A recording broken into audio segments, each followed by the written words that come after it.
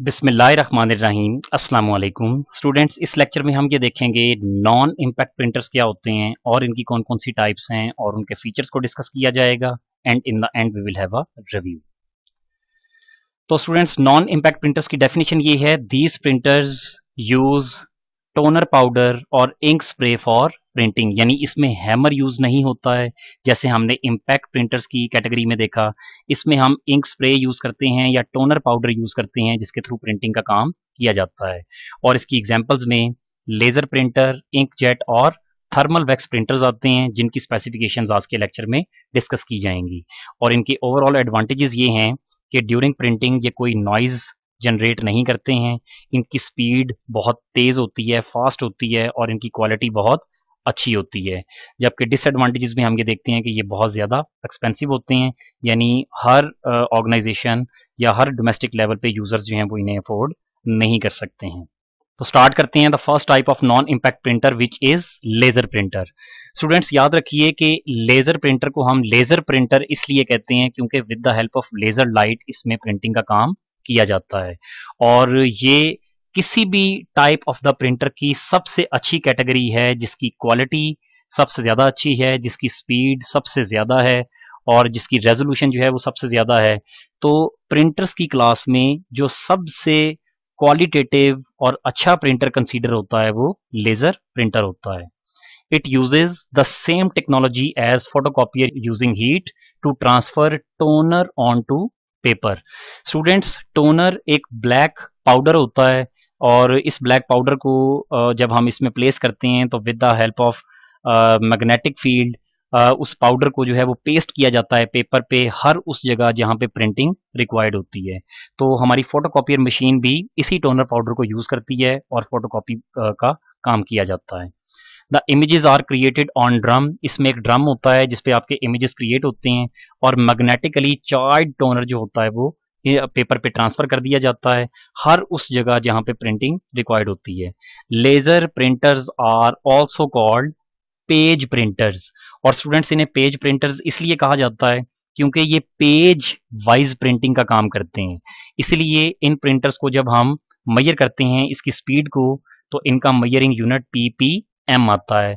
और ये जो रेजोल्यूशन होती है इसकी वो अवेलेबल है 300 डीपीआई से लेकर 1200 dpi यानी डॉट्स पर इंच तक।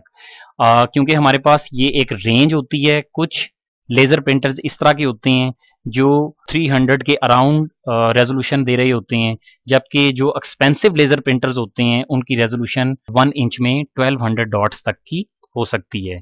और अगर हम इनकी स्पीड को देखें तो वन सेकंड में ये फोर पेजेस पर मिनट से 32 पेजेस पर मिनट तक को प्रिंट कर सकते हैं। इनके कलर्स का रिज़ल्ट जो होता है वो बहुत अच्छा होता है, क्योंकि ये लेज़र प्रिंटर्स हमारे पास कलर्ड में भी अवेलेबल है और ब्लैक एंड वाइट भी अवेलेबल है। तो इसमें जो है वो दोनों तरह के जो हैं वो प्रिंटर्स को हम अपनी रिक्वायरमेंट के मुताबिक जो है वो यूज़ कर सकते हैं। और इसका डिसएडवांटेज ये है कि ये बहुत ज़्यादा एक्सपेंसिव होते हैं इम्पैक्ट प्रिंटर्स के मुकाबले में। उसके बाद आता है नेक्स्ट कैटेगरी इंकजेट की, जो कि अगेन एक नॉन इम्पैक्ट प्रिंटर है और जैसा नाम से ज़ाहिर है स्टूडेंट्स ये इस तरह के प्रिंटर्स होते हैं जिसमें इंक को यूज़ किया जाता है। जैसे कि हमने लेज़र प्रिंटर में पाउडर को यूज़ किया था, इसमें इंक जो है वो यूज़ होती है, जिसे कॉटरेज में स्टोर किया जाता है और ये कॉटरेज जो है वो रीफिल भी होती है और इसकी एक फोटोग्राफ जो है वो आप ये स्क्रीन पे देख सकते हैं। ये इस तरह का हमारे पास एक प्रिंटर होता है और इसकी रेजोल्यूशन जो होती है वो 300 से लेकर 720 तक की अवेलेबल होती है। यानी ये रेजोल्यूशन भी अच्छी होती है, लेकिन ये लेज़र प्रिंटर से कम की होती है। जबकि इसकी स्पीड जो है, वो one two six pages per minute है। यानी जब हम इंक जेट प्रिंटर्स की भी स्पीड को मैयर करते हैं तो इसके लिए जिस यूनिट को यूज़ किया जाता है, वो पी पी एम होता है। और इसकी रेंज मैंने जैसे आपको बता दिया कि ये one two six pages per minute तक की होती है। स्टूडेंट्स बबल जेट प्रिंटर का नाम आपने सुना होगा। ये कैटेगरी है हमारे पास। इंकजेट की, जिसमें एक हेड यूज़ होता है और ये हेड जो है वो स्लाइड करता है एक कॉटरेज पे और इस पे नोजल्स लगी होती हैं और उन नोजल्स से हमारी ये इंक जो है वो बाहर आती है और पेपर पे पेस्ट हो जाती है। तो ये नोजल से जो टाइनी ड्रॉपलेट्स निकलते हैं, ये ड्रॉपलेट्स रिस्पॉन्सिबल होते हैं किसी भी ग्राफिक्स को पेपर पे प्रिंट करने के लिए। इसके एडवांटेजेस ये हैं कि अगेन ये क्वाइटर होते हैं, यानी साइलेंट होते हैं, कोई शोर जो है वो प्रोड्यूस नहीं करते हैं, इनकी क्वालिटी जो है वो अच्छी होती है और इसमें कुछ प्रिंटर्स जो होते हैं वो अगेन कलर्ड भी हो सकते हैं और वो ब्लैक एंड वाइट भी हो सकते हैं और इनकी कॉस्ट जो है वो कंपैरेटिवली कम होती है लेज़र प्रिंटर से, जबकि डिसएडवांटेजेस में can not use multi copy paper इसमें मल्टी कॉपी पेपर या कॉन्टिन्यूस पेपर को यूज़ नहीं किया जा सकता जैसा कि हमने डॉट मैट्रिक्स में किया था। और क्योंकि इंक जो है वो जब पेपर पे पेस्ट होती है तो it takes time to get dry तो अगर आ, हम फॉरन जब प्रिंटिंग के बाद अगर हम हाथ लगाएँगे तो हमारी इंक जो है वो पेपर पे फैल जाएगी।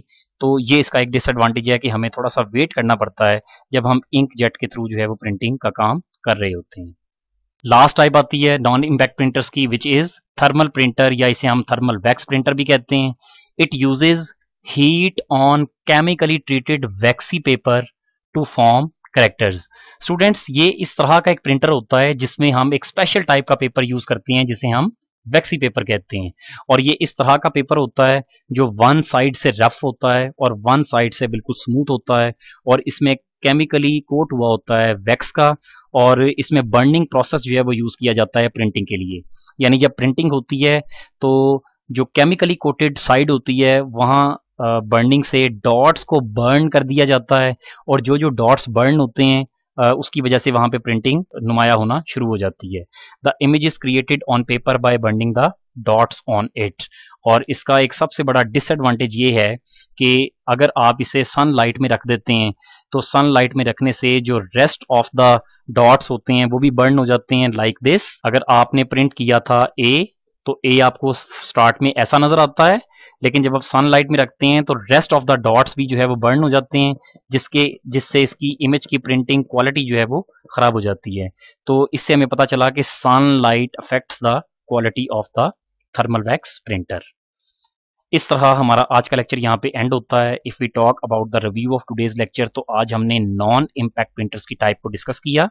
और इसमें हमने ये देखा कि ये इस तरह के प्रिंटर्स होते हैं जो फास्ट होते हैं क्वालिटेटिव होते हैं और ड्यूरिंग प्रिंटिंग ये किसी किस्म का नॉइस जो है वो क्रिएट नहीं करते हैं।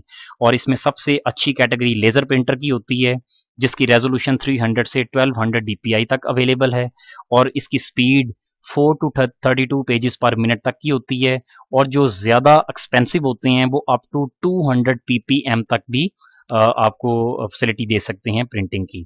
देन हमने ये देखा कि इंकजेट प्रिंटर में हम इंक यूज़ करते हैं और इसमें टाइनी नोजल्स होती हैं जो स्प्रे का काम, काम करती हैं लेकिन इसमें डिसएडवांटेज ये होता है कि हमें ड्राई करना पड़ता है आफ्टर प्रिंटिंग पेपर को वरना आपकी इंक जो है वो पेपर पे फैल सकती है।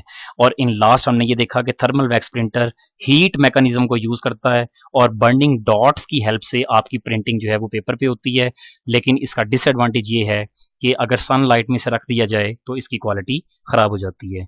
इस तरह नॉन इम्पैक्ट प्रिंटर्स की टाइप का ये लेक्चर यहाँ पे एंड होता है। Thank you very much and अल्लाह हाफिज़